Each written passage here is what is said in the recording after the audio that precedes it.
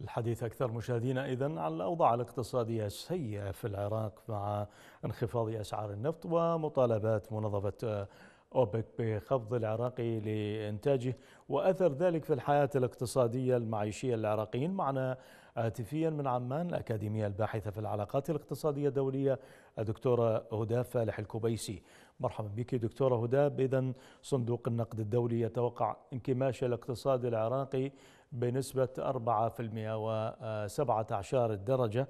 مع ذلك فهناك مفاوضات بين الحكومة حكومة في بغداد ومنظمة توبك بخفض الإنتاجية إلى مقدار الربع ما تأثير ذلك في الحالة الاقتصادية عموما للعراقيين؟ نعم. مساء الخير عليك وعلى الساده المشاهدين. آه، في الحقيقة يعني نحن الآن في وضع اقتصادي آه، يعني لم يسبق له العراق ولا حتى العالم بشكل عام أن مر بمثل هذه الظروف. ولكي لكي نكون أكثر يعني مركزين على الوضع العراقي ووضع منظمة اوبيك وعلاقة أسعار النفط والوضع الاقتصادي آه، اللي يخص العراق والعراقيين. طبعا إنه آه، يعني هذا الوضع نحن في مشكلة جدا كبيرة. يعني المشكلة التي تكمن في صناعة النفط منذ عقود لم تواجه مثل هذه المشكلة. وبالتالي المشكلة الأساسية أننا مهما عملنا على التخفيض يعني التخفيض الذي هم سائرون به نحو 9 آه، ملايين 700 ألف برميل يبدأ في 1 أيار 2020 هاي الكمية هي لا تتناسب مع انخفاض مستوى الطلب العالمي الذي يصل إلى 25 مليون برميل يوميا. فهذا التخفيض اللي نحن بصدده حوالي 10 مليون برميل يوميا لا يتناسب مع ال 25 مليون برميل يوميا أساسا هي آه، انسحبت من السوق وبالتالي نتيجة لكورونا والواقع الاقتصاد الصيني وكل الدول آه، يعني مجتمعة بهذا. وبالتالي إحنا أيضا تأثرنا كدول نفطية ولن يعني تحل هذه المشكلة عملية التخفيضات. لذلك نجد أننا في حتى يوم الأمس وهو الثلاثاء يعني نجد أنه هنالك انخفاض سعر النفط والبعض كان يتساءل لماذا انخفض سعر النفط؟ لأن يوجد هنالك تخمة في الأسواق وبالتالي عملية السحب والتخفيض آه، وإن كانت سوف يعمل بها من بداية شهر أيار ولكن أيضا سوف لن تحل مشكلة وسيبقى هنالك انخفاضا في سعر النفط لذلك البارحة سجل سجلت آه، سله اوبك 19 دولار 70 سنت. وبالتالي هذا اخفض ما كانت عليه منذ عقود ما وصلت إليه سلة اوبك نعم. هل هناك دكتورة آه، ضغوط تمارس على الحكومة من أجل أن تقبل بهذا الاتفاق وهو خفض الإنتاج أم أن هناك يعني من يدير الملف في العراق ولا يعي خطورة ما يحدث؟ يعني هي في الحقيقة هي مجموعة آه، أمور آه، سياسية متداخلة بعضها مع البعض. سوء اتخاذ القرار آه، هذا بالبداية.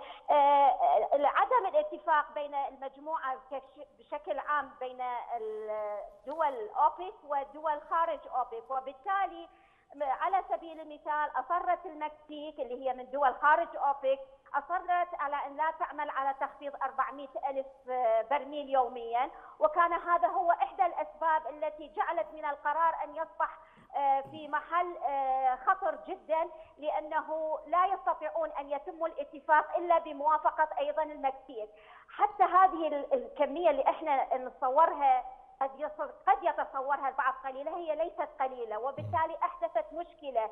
فهنالك حالة عدم اتفاق هنالك حالة عدم تنسيق وبالتالي أيضا هنالك حالة يشار إلها في التقارير الدولية بأنه هنالك بعض الدول قد تنتج أكثر مما آه، يعني محدد إلها الدول حتى إنه يجب نحن يعني إحدى التقارير الدوليه يجب أن نراقب العراق في إنتاجه لأنه دائما لديه آه، تصور أو لدينا تصور تجاه الإنتاج العراقي أنه ينتج مهما كان قادر آه، عليه سينتجه. وبالتالي سوف نضعه تحت الملاحظة باننا آه، يجب أن نشاهد ويجب أن نلمس أن تخفيض الإنتاج تم بشكل صحيح وبشكل حقيقي. نعم.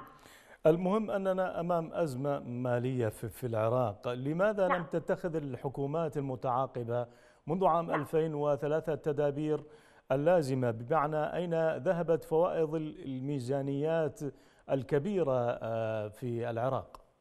نعم. آه، يعني بسبب الفساد الاقتصادي بسبب عدم ضغط الإنفاق بسبب الموازنات اللي مررنا بها هذه الموازنات ذات الأرقام الفلكية التضخمية. كل هذه أدت إلى أنه أن يكون هنالك استهلاك في إيراداتنا دون وجود مقابل لها دون وجود آه، ناتج حقيقي دون وجود إنتاج مقابلها.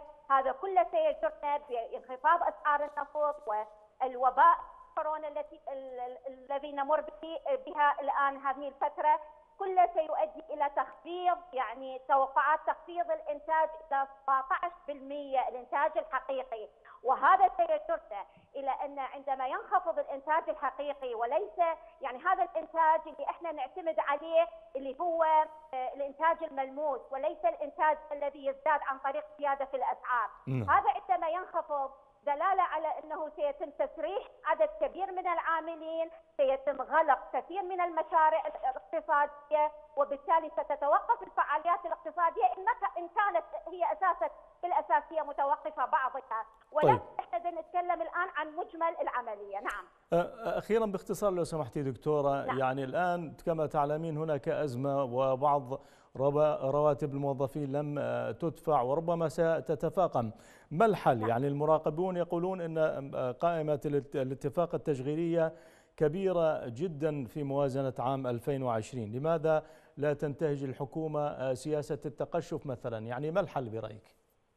يعني الحل أكيد هو يعني يجب أن ننظر على بالدرجة الأساس على رواتب الرئاسات الثلاث هذا الإنفاق الكبير الذي يحدث الإنفاق الاستهلاكي آه، آه، في المؤسسات داخل المؤسسات نعم. آه، اللي هو لا يخص شيء يتعلق بالإنتاج. وبالتالي يعني يجب النظر برواتب البرلمانيون وإلى آخره.